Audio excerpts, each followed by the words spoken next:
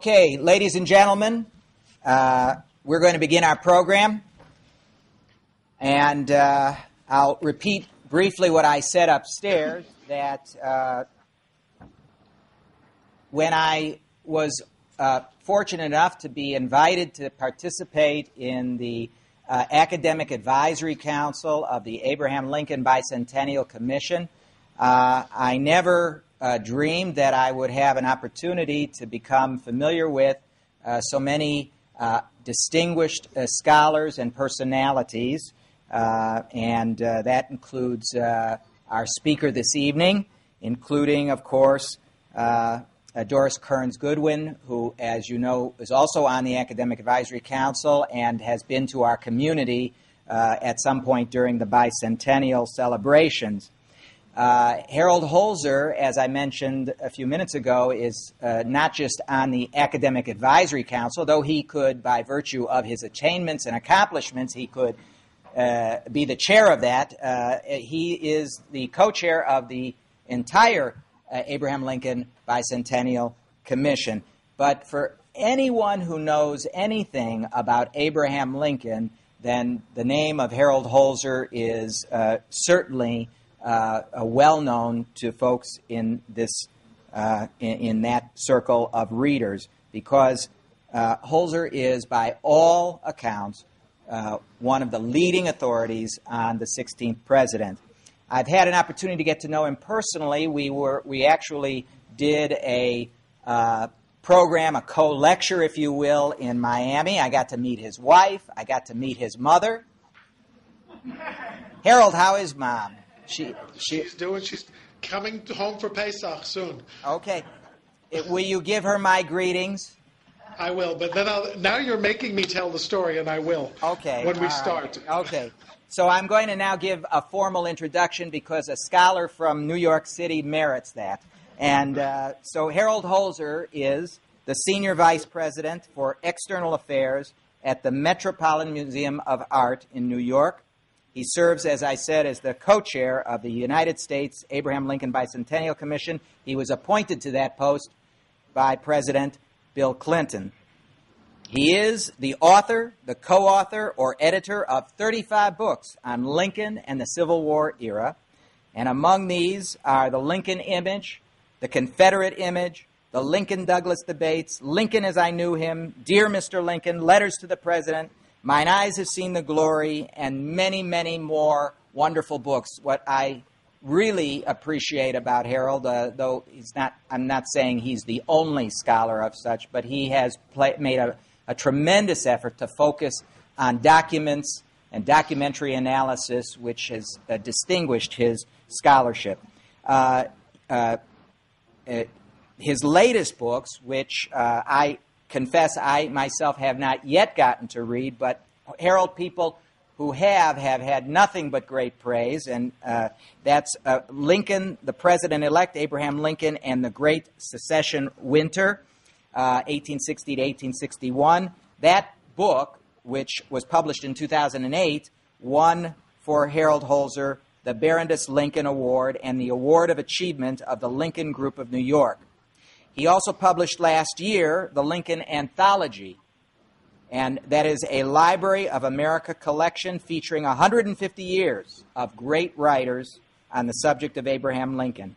And last year, he also published In Lincoln's Hand, featuring Lincoln's original manuscripts with commentary by distinguished Americans. And also last year, that's why I said upstairs, he writes faster than I can read. Uh, Lincoln and New York, which was published last year, which is a catalog of the New York Hist- uh, uh, Historical Society exhibition on Lincoln, and he was the chief historian for that exhibition. He's written more than 400 articles over the past 35 years in both scholarly and popular publications. He's won many awards for writing, and most recently, the National Endowment Medal, which he received from President uh, George Bush in 2008. He's a former journalist, a political and government press secretary. He served, interestingly enough, for Bella Abzug and Mario Cuomo. Uh, he knows quite a bit about our subject because he's also written a very fine monograph on Abraham Lincoln and the Jews, which uh, I have uh, depended upon and cited in the work that I'm now developing on uh, Lincoln and the Jews, which uh, you all know about. So it is a real honor and a privilege to uh, bring to Cincinnati uh, this distinguished scholar and leader in this field. will you welcome warmly Mr. Harold Holzer?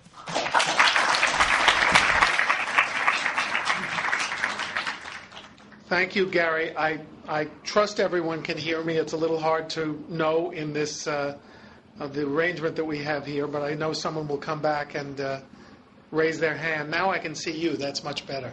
If uh, if there's a problem, I promised originally that I wouldn't tell a joke, but Gary has inspired me by asking about my mom, who is um, 94 years old uh, was about 92 when we did our event in Miami Beach. And uh, Gary and I did an event together, as he said, and my mother was there, and a lot of the girls, as she calls them, from the condominium, who were all 85 to 95.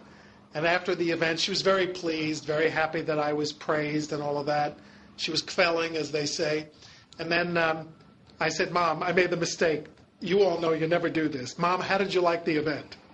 She said, Well, it was very good, she said, except the rabbi, she said. I said, What's wrong with the rabbi? She said, Well, he's not Jewish. I said, What do you mean? I said, Mom, he's, he, of course he's Jewish. He's a rabbi. He's a very well known rabbi, very important rabbi. She said, No, he's not Jewish. I said, Mom, what makes you think he's not Jewish? She said, The hair. so I promised I wouldn't do a redhead joke, but she still does. She still doesn't believe that he's really a rabbi.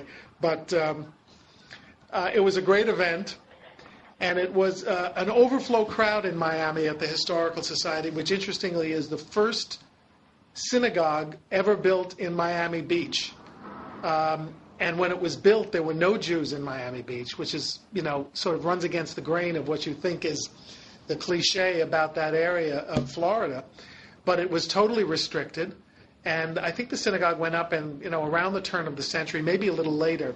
It's a wonderful place. We had an overflow crowd and touched on this subject that, as Gary said, he's developing uh, into a book, I hope, that comes out soon. I'm going to talk a little bit about my take on Lincoln and the Jews uh, tonight, and it's a perfect time to do it. Perfect time of year, because when he died, Abraham Lincoln was generally viewed in the Jewish community as sort of an American Moses, someone who had taken people out of slavery uh, to the promised land, not quite getting to see the promised land himself. And uh, as I will discuss at the end of this little talk, which will uh, be an abridged version of what I usually do on this subject, so we have a chance to dialogue here across the continent. But what made that image more powerful uh, and more evocative was the fact that Lincoln died um, on at a time when, just like this year, almost like this year, uh, um, Easter and Pesach were at the same time. So while most historians talk about the fact that Easter Sunday service, Lincoln was killed on Good Friday, uh, shot on Good Friday, died on Saturday. Uh, that Easter Sunday services that year were called Black Easter in the United States and devoted to to uh, to Lincoln's memory as a second Jesus almost, who had died for the nation's sins. But it was also Yontif. It was the end of Passover. So Lincoln was celebrated in shuls throughout the large cities of the North. An interesting development that that is seldom discussed. But let's get to know Lincoln and his relationship with the Jewish community. Um, he did know Jewish people um, in his hometown of Springfield, Illinois. Um, it was a period of, let's face it, rampant anti Semitism. Not only unofficial, but almost institutionalized anti Semitism in the United States Army, for example. Uh, General Sherman, who's viewed as a hero in most Civil War books, once warned darkly that with the onset of the war, the country will soon be swarming, he said, with dishonest Jews. Grant famously took steps to expel Jews from his military department. Here's a, a quote from uh, a Confederate diarist in 1861 at the beginning of the war. And there were a lot of Jews in the South, and a Jew rose to the position of Secretary of State in the Confederate government. So, actually, a little easier institutionally in the South. But this quote comes right at the beginning of the war. The Jews are at work. Having no nationality, all wars are harvests for them. It has been so from the day of the dispersion. Now they're scouring the country in all directions, buying all the goods they can find. These they will keep until the prices rise, and then they'll raise a greedy demand for all descriptions of merchandise. That's the atmosphere we have to realize existed north as well as south in the Civil War. In that atmosphere, Lincoln understood Jews because he knew some. Um, he knew a man named Abraham Jonas uh, one of 22 children born in England, a one time auctioneer and shop owner who moved to Lincoln's part of Illinois and became a valuable supporter, a member of the new Republican Party, a man whom Lincoln would later refer to as one of his most valuable political friends. He later appointed him a postmaster in Illinois, a job he held until his death, when Lincoln quietly transferred the job to his wife uh, at a time when he was reluctant to reward his own female relatives with patronage appointments. He even patrol, uh, paroled Jonas's own son, who was a Confederate prisoner of war, to visit his dying father on his deathbed. So in that case, the sins of the, fa- of the son were not visited on the father. He knew a man named Julius Hammerslough, one of his hometown merchants in Springfield, who attended his inauguration and later helped raise funds to build his tomb. Photographer Samuel Alschuler, whose descendant Gary Zola and I met in Florida, uh, took his picture in 1858 and felt so sorry for the way he was dressed that he lent him his beautiful velvet trimmed coat to pose. Two years later, Alschuler turned out to be the photographer in Chicago who took the very first photograph of Abraham Lincoln with whiskers he was beginning to grow in the days leading up to his inauguration. There was the Bavarian born Chicago merchant named Abraham Cohn, president of the congregation Anshe Ma'ariv, another staunch Republican.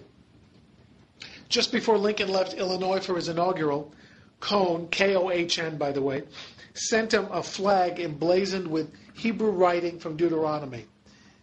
It said, translating, Be strong and of good courage. Be not afraid, neither thou be dismayed, for the Lord thy God is with thee, whithersoever thou goest. I think someone translated it for Lincoln, maybe Cohn himself, because a few days later, Spring, Lincoln left Springfield and gave a speech that I think was clearly inspired by Deuteronomy, inspired by those words. He declared his trust in a God who could go with me and remain with you and be everywhere for good.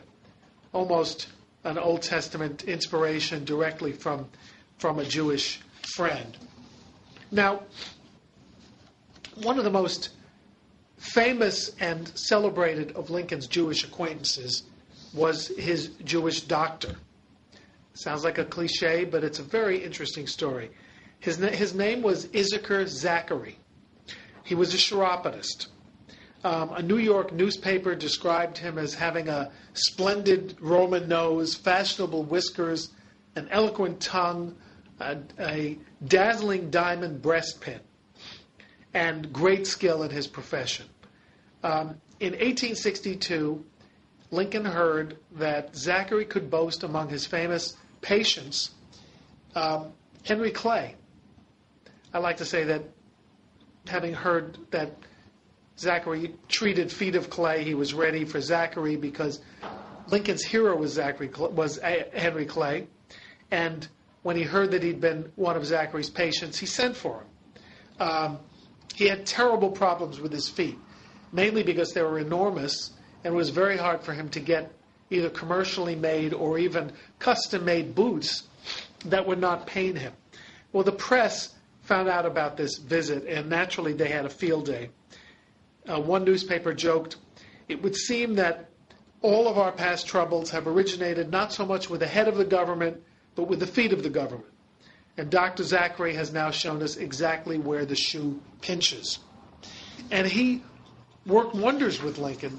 Lincoln actually wrote an endorsement for Zacharie that he could take and trade off and get other patients. It said, Dr. Zacharie has operated on my feet with great success and considerable attention to my comfort.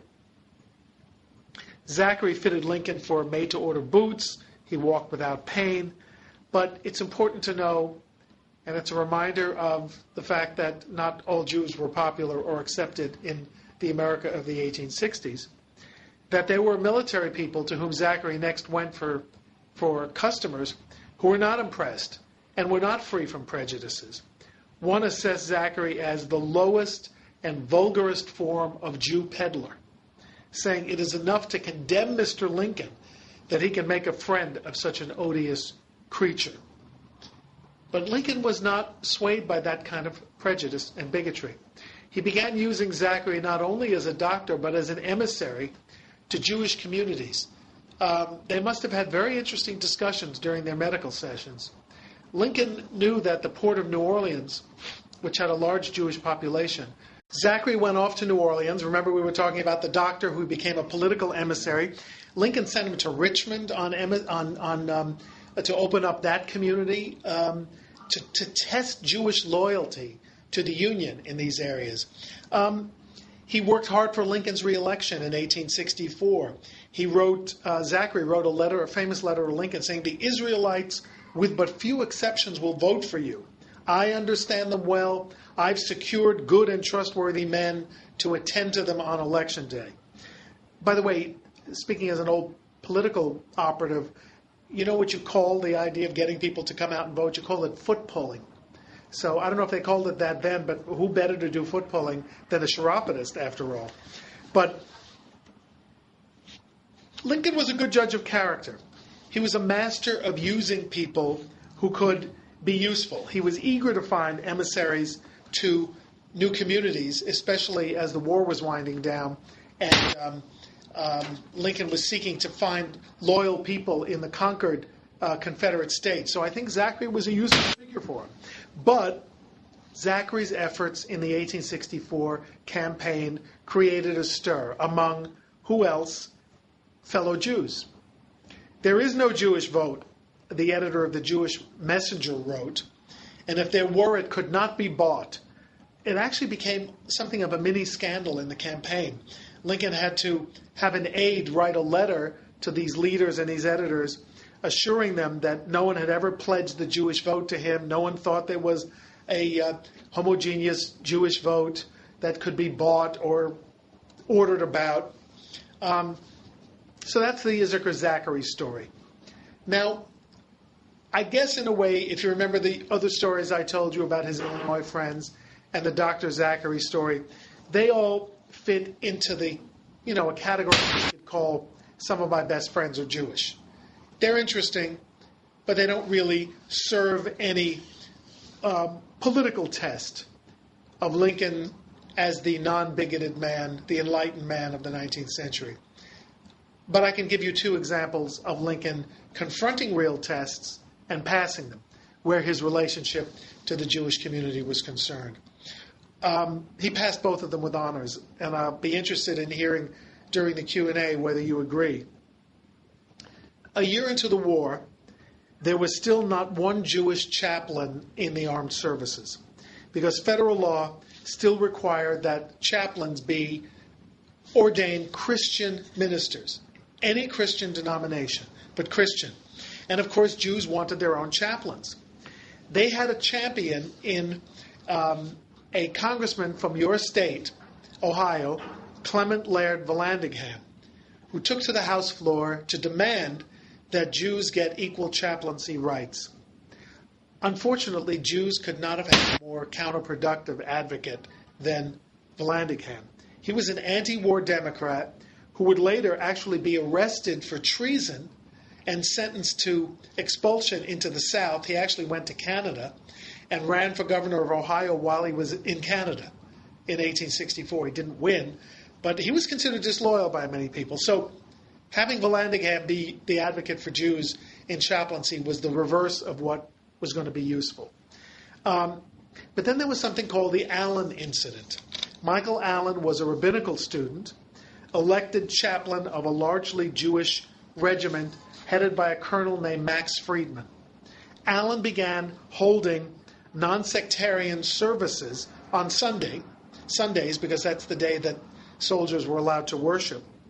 But when the army found out, it pressured him into quitting because the argument was you're not really ordained yet, you can't lead services.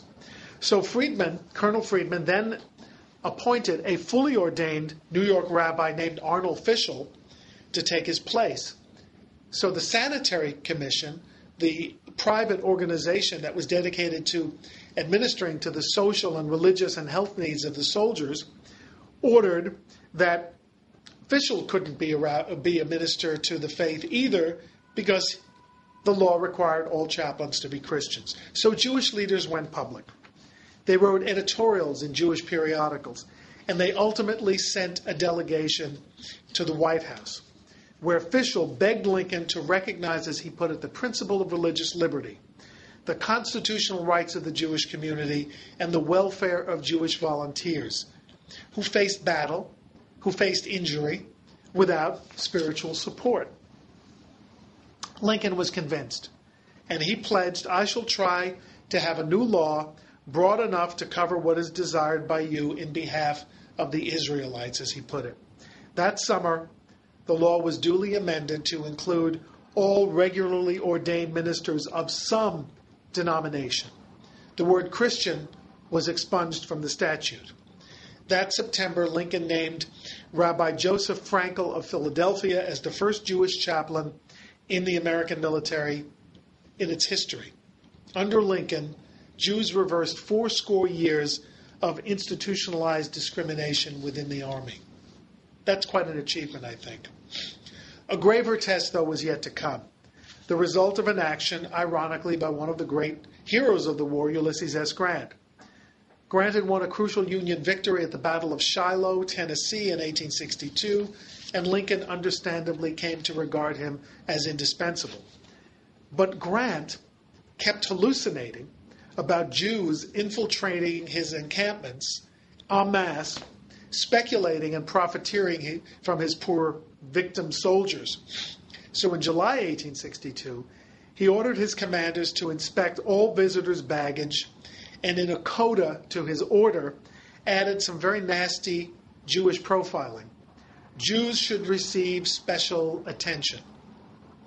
That November, he told another officer the Israelites should be kept out. They are such an intolerable nuisance that the, the department must be purged of them. Weeks later, he was railing about the total disregard and evasion of orders of the Jews, saying, My policy is to exclude them as far as practicable.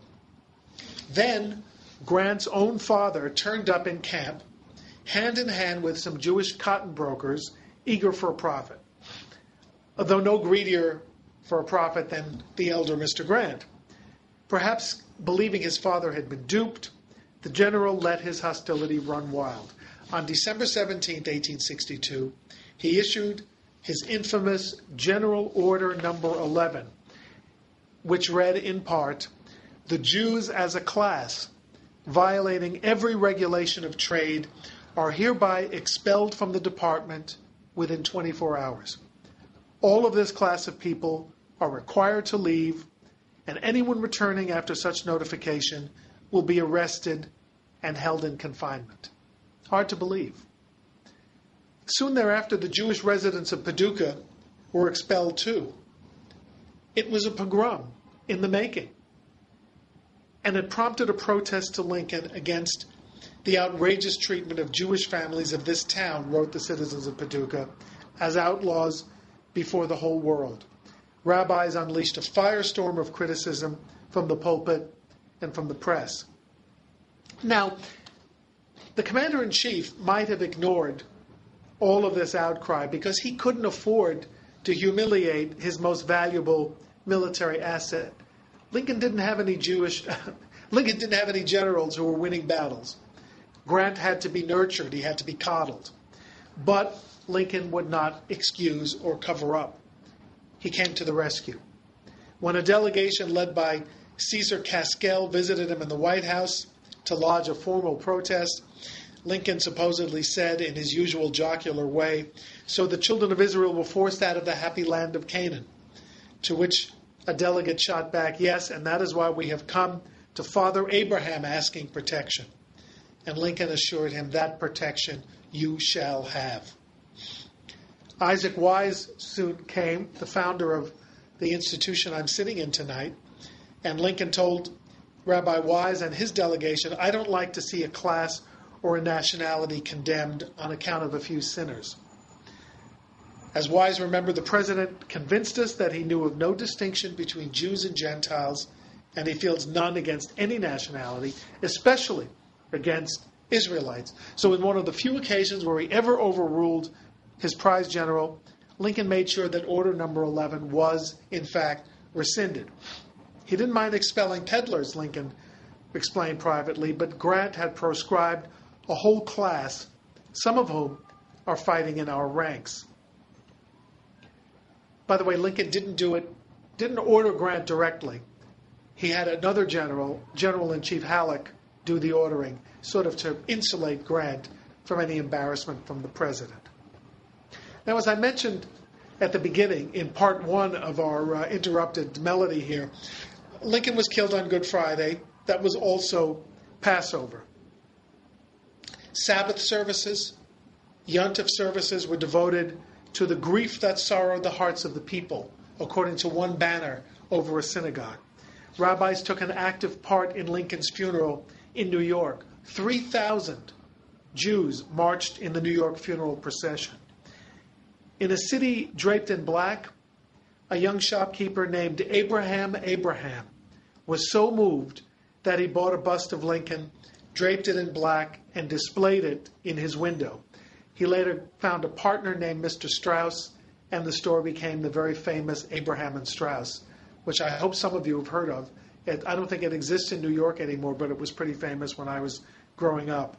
In Chicago, a special canopy was provided by the city's Jews, inscribed with a Hebrew lament The beauty of Israel is slain upon the high places.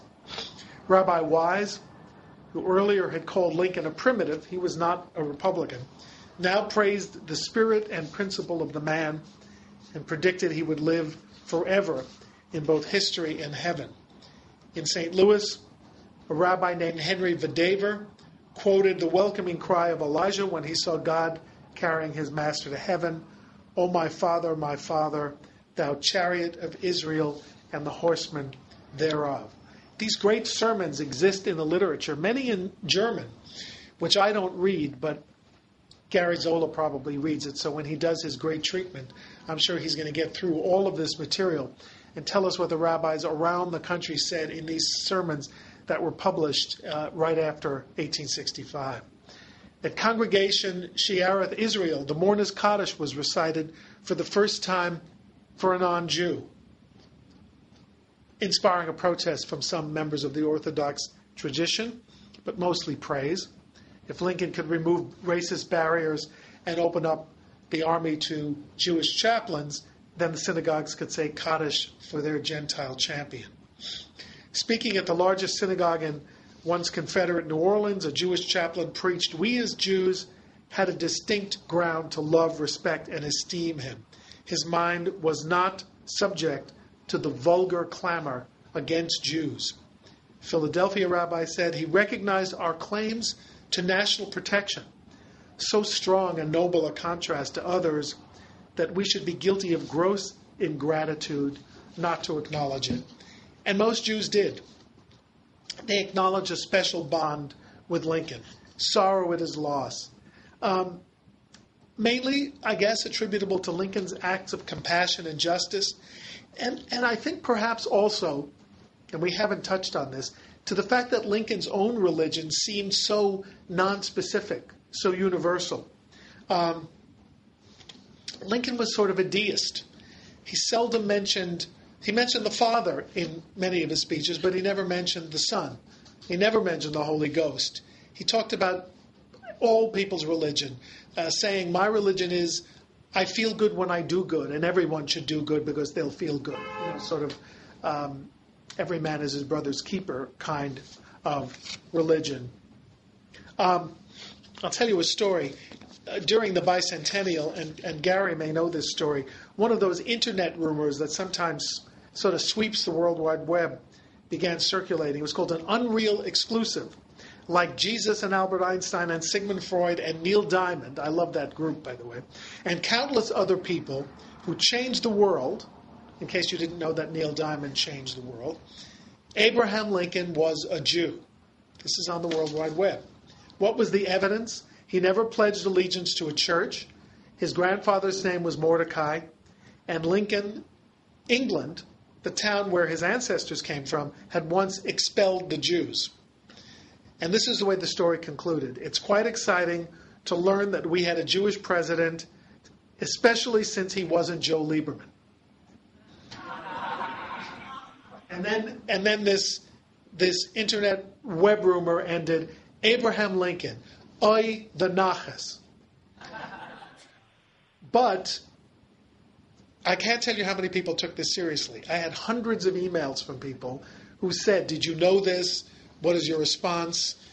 Tongue in cheek, I guess. But again, uh, people were acting like they discovered the Dead Sea Scrolls. Um, it's a high tech manifestation of what I think Gary Zola has um, pointed to as a phenomenon of remarkable endurance, seeking a common identity with Lincoln in an effort to balance Americanism and Jewishness in a new world. Um, Gary cites Genesis to illuminate American Jews' longstanding sense that Lincoln was like one of us. As I said, Lincoln once summed up his faith this way When I do good, I feel good, and when I do bad, I feel bad, and that's my religion. And perhaps it's no accident that the sentiment is remarkably close to what Hillel urged in his teachings What is hateful to thee, do not do unto my fellow. It did not hurt a man of such all embracing faith and tolerance that the Sermon on the Mount had included a proactive turn on this phrase do unto others as you would have others do unto you. That simple but poignant philosophy made Lincoln seem to Jews in his own day like God's child and America's father at one at the same time. And when Lincoln died, many Jews really did feel that the beauty of Israel was slain upon the high places. Remembering Passover, you can understand this phrase printed by the New York Times. It is as when there, there was a great cry in Egypt, for there was not a house where there was not one dead. A reference, of course, to one of the plagues. And as Rabbi Samuel Adler put it at Temple Emanu-El here in New York, after Lincoln's death and at one of those Kaddish services for the slain president, Abraham Lincoln has not fallen. He is lost to us, but as light, he remains to us in memory and adoration and will so remain forever. And I think that that rabbi was right. History has vindicated that prediction. Thank you very much.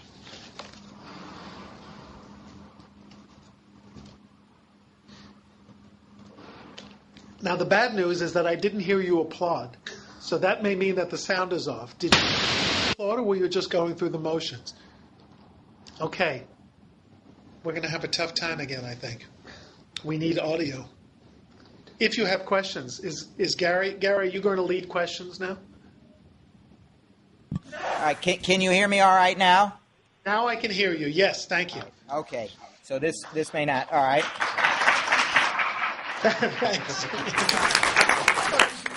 You were a big hit. You were a big hit here in Cincinnati, which is a lot tougher a crowd than the evil empire of New York. And uh, and uh, uh, but but uh, uh, people did say they, they they is there something wrong with the color uh, because we thought uh, uh, Mr. Holzer had reddish hair and I guess he doesn't. So, but This used to be red if it's any consolation. it is. It is. That's why we like each other. Uh, Okay. I, I'll, I'll try to field some of the questions. Uh, uh, is he able to see the audience now?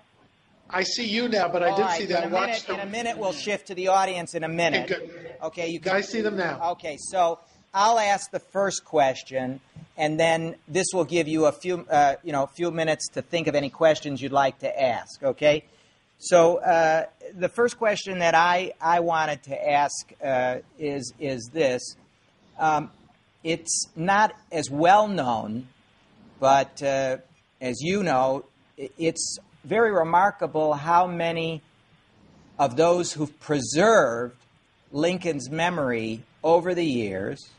I'm talking about historians and collectors. You represent that group in our own day uh, so excellently.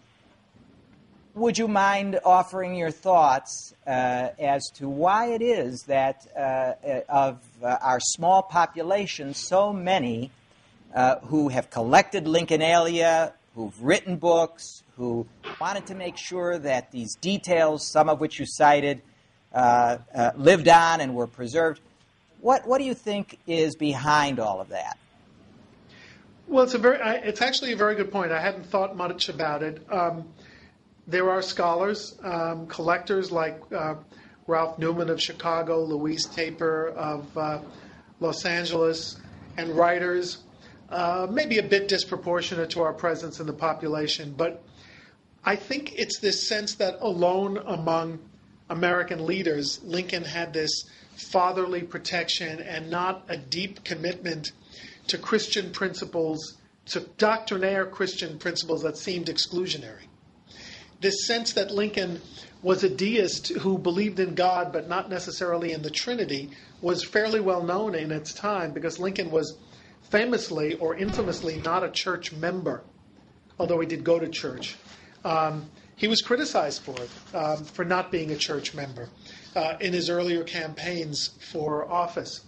There's also something about the immigrant experience and the learning curve that immigrants and the children of immigrants, uh, I'm the grandchildren, grandchild of immigrants, what they are taught in the schools. And one of the first things they're taught about is Abraham Lincoln with his kindly face, with his beard. And I think that there's an interesting connectivity that arises from Lincoln and his graciousness and his compassion, his forgiveness, his nature as a forgiver.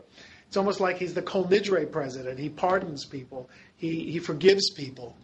Um, salachti, right? That's the, the, the, correct phrase for that time of year. Um, there's a great story, which maybe Gary is prompting me to tell, if I'm answering this in, a, in an understandable way. Um, I just have to think of his name, Judge. Oh, Judge Abraham Lincoln Marovitz of Chicago, Illinois. He was a federal judge. He was a real character, a very famous banquet speaker in Chicago. He lived to be about 98. He was an active federal jurist until his mid 90s. And he used to tell a story that why he was named Abraham Lincoln Marovitz by his Polish mother who came from the shtetl and arrived here and and she said because Abraham Lincoln was such a good Jew. That's why I named little Abela, Abraham Lincoln Marovitz. What do you mean? Well, because we know that he was shot in the temple. It's a true story. That's the story his mother believed, that his wound indicated that he was at a synagogue. I think Judge Marovitz got a bigger laugh than I just got when he told the story, but that must be because he was such a famous after dinner speaker. Empathy. It's transcendent and it still exists. Are you able to hear me? Yes. Okay. So, are there any questions? Uh, if you would like to do so, we'll be able to ask uh, now. Are there any? We have one question over here. Okay, now you you go ahead and just press that button. Go right ahead. Press and hold. Press and hold. Yes. I'd like to ask you, who do you think are the five greatest presidents, and maybe why? Uh, okay. Well, you know, I actually do this every year for uh, C SPAN. C SPAN does a historians poll, which I'm uh, lucky enough to participate in. Um, Lincoln first, because of the reasons that are obvious. Uh, preserving the Union and cleansing it of its one great hypocrisy, American slavery. And saving the Union meant validating the whole idea of democracy.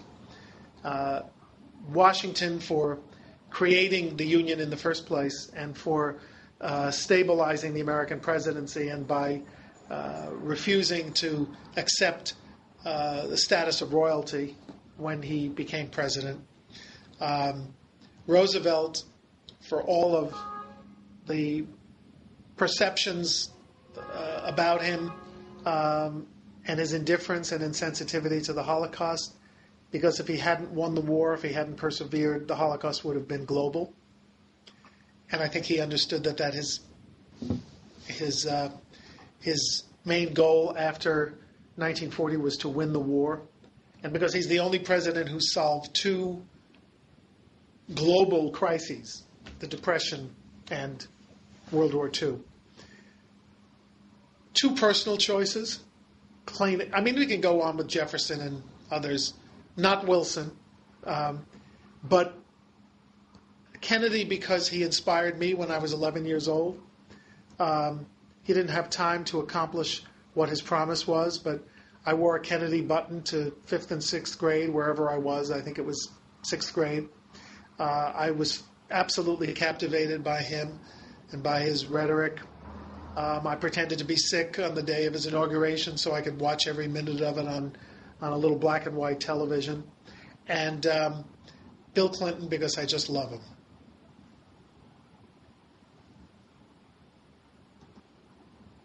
Uh, any other questions while we have uh, the privilege of being okay? Uh, I'll, I'll, first, uh, student Rabbi Ari Plost, do you go right ahead. Hit the button.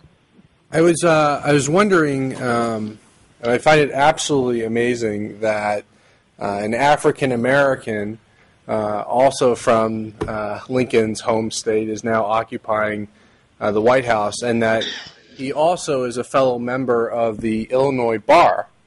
And I'm wondering to what degree do you think that Lincoln's background as an advocate uh, may have influenced in some ways his orientation or his feelings towards the people of the law? Oh, I thought you were going to ask me about Obama. Um, well, I think I, w- I will answer about Obama anyway because I have this wonderful answer. So, but I'll answer your question. I think Lincoln's um, familiarity with, with the law, and he was an awfully good, you know, autodidact of a lawyer. He taught himself the law. I think it inflected his rhetoric, and by by inspiring him to be not uh, purple in his prose, but to be very logical, uh, to be very fact driven, even with eloquence added. I think he, in a sense, revolutionized American political discourse. Because until Lincoln, uh, stem winders with great rhetorical, biblical, and classical allusions were the norm.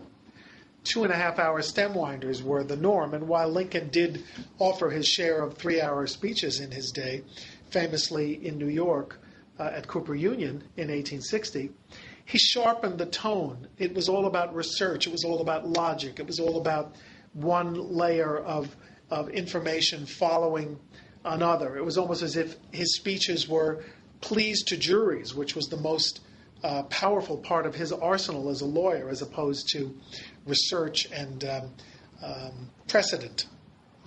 And let me just say one word about Obama. Um, President Obama is a very serious Lincoln student, as, by the way, it's very interesting. Um, the last four presidents, all of whom I've had the privilege to, uh, to converse with about Abraham Lincoln, are not, you know, what is the expression? Fly by night Lincoln students. They are serious enthusiasts. They were serious readers. President Bush read lots of books about Abraham Lincoln, knew lots of things about Abraham Lincoln. Clinton, it goes without saying, read everything about Lincoln because I think he reads a book a day.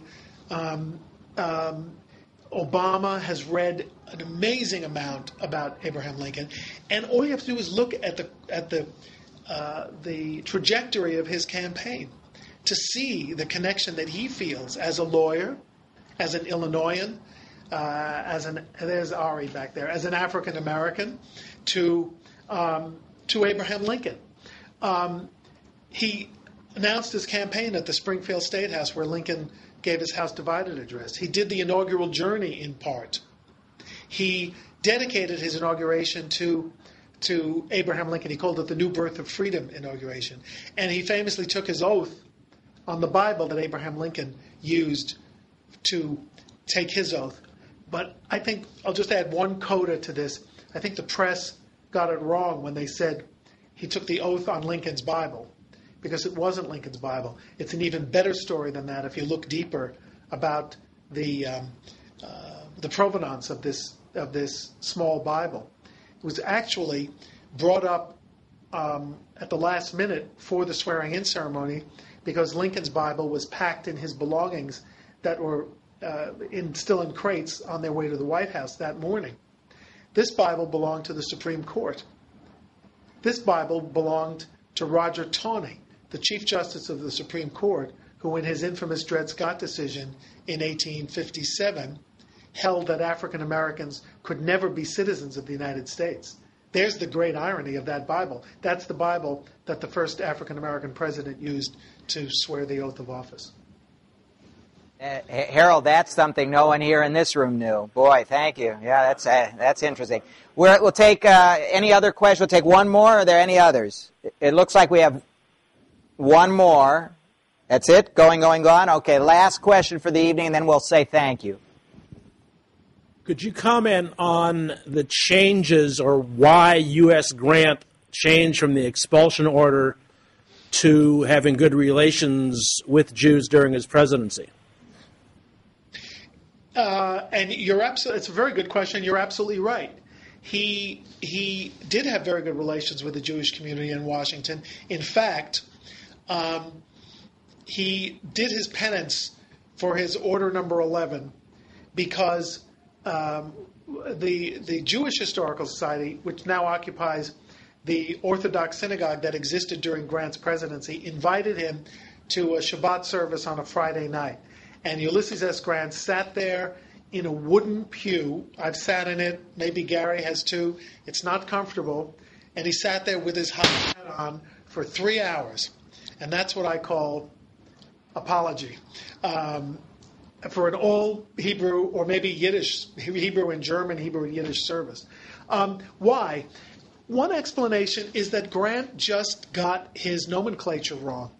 He meant Jewish peddlers. He didn't want people selling at high profits to his army. And this um, was rife in the army in the 1860s. People would go in and sell at high prices and make high profits and rip off soldiers who desperately needed the kind of little things that they weren't getting, you know, in regular supply. Everything, frankly, from toilet tissues to newspapers to pens and inks to write letters home. That's what these guys trafficked in. Um, some were Jews. Why were they peddlers? Because that's what they were in the first generation. They were peddlers. Maybe Grant just got it after a while. Um, he had a very smart political um, uh, ally in um, an Illinois congressman who was his um, uh, who who introduced him to Washington, Congressman Washburne, and I think he just sort of met Jewish people finally and liked them the, the answer is if you're so remote from people and you don't know them, then you don't get it. Um, Abraham Lincoln is criticized by many in the African American community today for caring more about slavery than he cared about African Americans. And that may be, I always explain, because the only African Americans he knew until he became president were the guy who took care of his horse, the guy who cut his hair. He didn't have any exposure to people like Frederick Douglass or Sojourner Truth until he became president and realized that there were African Americans who were, in fact, his equals and to, whom he treated as equals. I think the same thing is true of Grant. But he did, to his credit, go out of the way to have exemplary um, relations with the Jewish community in Washington. And um, as I say, the tradition is to forgive, so we forgave. Harold, uh, we're getting feedback? Not necessarily. Okay. I uh, wanted to stand here in order to thank you uh, personally. Uh, uh, it, one, one thing, as remarkable as this technology is, and it is a great blessing that we're able to bring you to Cincinnati and, and, and not have you too far from your home. Uh, I'm not always sure that it communicates to the speaker uh, how much appreciation uh, and joy that is uh, on this side of the screen. So I, uh, be, on behalf of all of us here in Cincinnati, I want to thank you very much for being with us this evening, and I know that uh, the audience is going to thank you now for uh, really what was a very wonderful, inspiring, and informative talk. Thank you so much. Thank you. Thank you.